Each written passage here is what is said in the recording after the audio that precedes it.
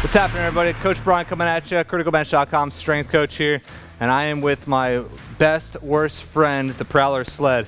Now, you can use this to push, obviously. Uh, that's what a lot of people use this for, but there's a couple different types of pushing exercises you can use with this bad boy right here. Traditional push right here, but now before you start just hammering it out, there's two different types of pushes you can use. Fast and slow, sprint or walk, all right? So for the walk, obviously, slow. If you want to go for more strength and just endurance of like suckage, walk, all right?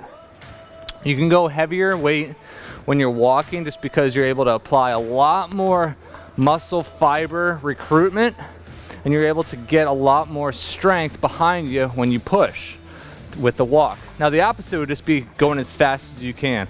This is more of a speed explosive power uh, setup. So if you want to go for speed, haul butt. Just get the motor running, get the wheels turning, and just take off. Now what you want to make sure you're doing is full stride. You're not doing these short little choppy steps.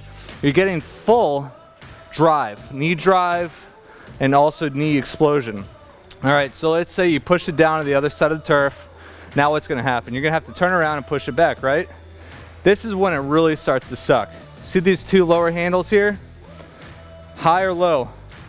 A lot of coaches, especially football coaches, got these out on the field. You wanna make sure that you're pushing, driving with those toes, driving as hard as you can. And again, the same thing applies, walking or sprinting. The lower you go, the harder it gets. The higher you go, obviously the little easier it gets.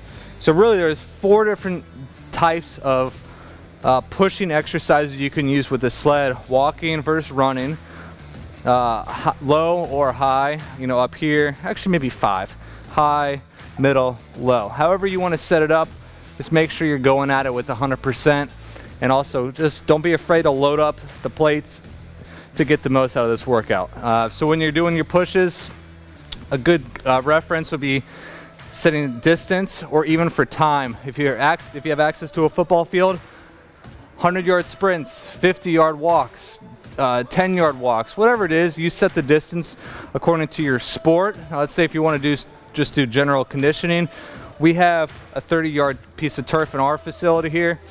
We just push it up and down a few times and have fun doing that. Again, you set the pace, you set the challenge, and just hammer it. Other than that, uh, that's it for the Prowler sled, but there's something else I want to share with you. It's found within a report called the seven worst testosterone killers. Um, it's a free read. It's great. It's a great PDF you can download. Go to this corner right where I'm pointing. Under this video, there's a tiny arrow. Click it. Give us your, uh, that's to drop open the video description area. Click the top link here that you see. Um, yeah, click it, give us your email, we'll send you a report right away. An easier way to get it is click right here. Click this box, give us your email, PDF's on its way. Subscribe to us by clicking here. Check out this video here, comments, questions below here. That's it. I'm Coach Brian with CriticalBench.com. Thanks for watching and have an awesome day.